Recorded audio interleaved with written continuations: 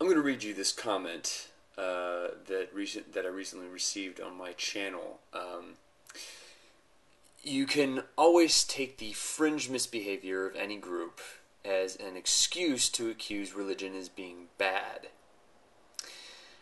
Why don't you look at the good that is done in the name of God?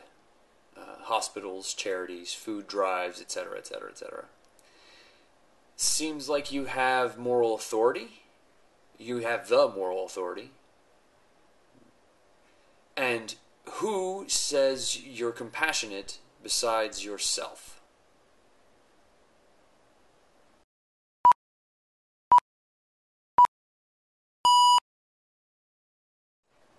As I've stated in a previous video, my gripe with religion is not with the people, but with the religion in people. It's never what they think it is. All religions that I've encountered, no matter their stripe or intensity, only allow people, a person or a group of people the self-license to, good, to do good and or bad things for bad reasons. When I say this, I'm not just talking about the bad reasoning behind the ludicrous claims about the nature of reality that religions rely upon as their foundation for their authority in making moral claims. I'm also talking about the moral blindness that seems to set in whenever someone who is religious is confronted with the evil done in the name of their faith, or sometimes in the name of other faiths. To better understand part of what I'm talking about, you should know a little bit about something called cognitive dissonance. Cognitive dissonance is discomfort caused by holding uh, conflicting cognitions simultaneously. Cognitions are things like ideas, beliefs, values, emotional reactions, so on and so forth. The theory of cognitive dissonance in social psychology poses that people have a motivational drive to reduce dissonance by altering existing cognitions or adding new ones to create a consistent belief system. Now, something else that you should understand and be fairly familiar with, whether you're religious or not, is that religions and holy texts say anything they tell their adherents to do, or anything recorded in their holy text that has that was done in the name of their faith, is good.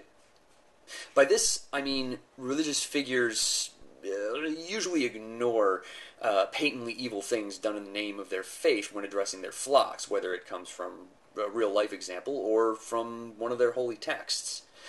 And holy texts also emphasize the righteousness of faith and the good that comes from having faith, no matter what is being done in their holy books. There are two consequences of this simple fact.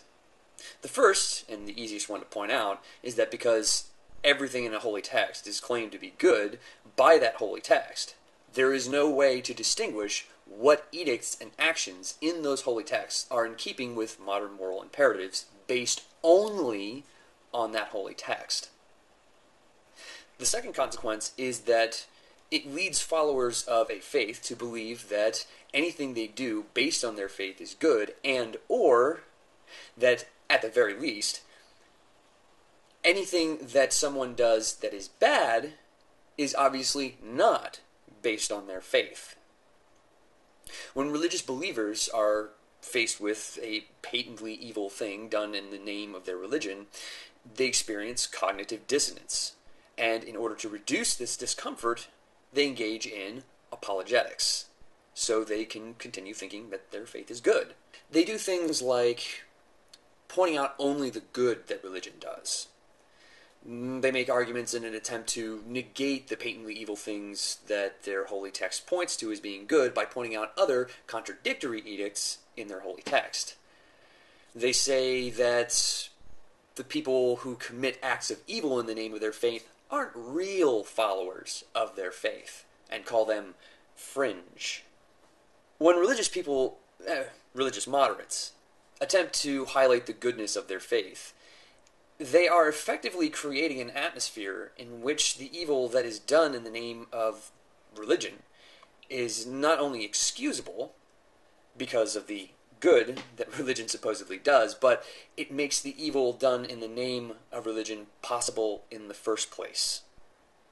Now, I realize this seems simplistic, but to drive this point home, I'd like you to consider the ans- consider an answer the following set of questions. This list could have been a lot longer, and you could see how much longer I could make it by going to my video, uh, the question. Would any organization that has been shown, proven, and admitted its dedication to the promotion and continued protection of child rapists even be allowed to exist, let alone have an observer seat at the United Nations, were it not for hundreds of millions of people making apologies for the leaders of that organization who protected and colluded in the crime of child rape. Would any faction of a group that openly promoted ignorance be allowed to have influence over an educational system without hundreds of millions of people associated with that group calling that fa- calling that faction that makes up 40% of the American public minority and fringe?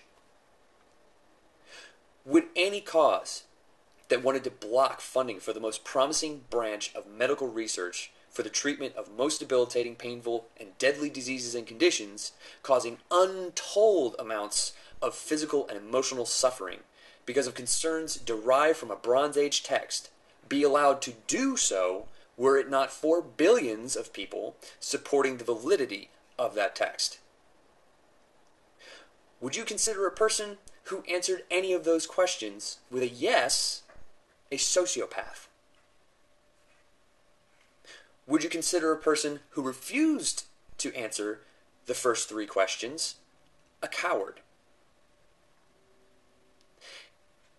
If someone responded to the first three questions by pointing out the good that those organizations, factions, and causes do, would they sound, at best, like a sleazy car salesman?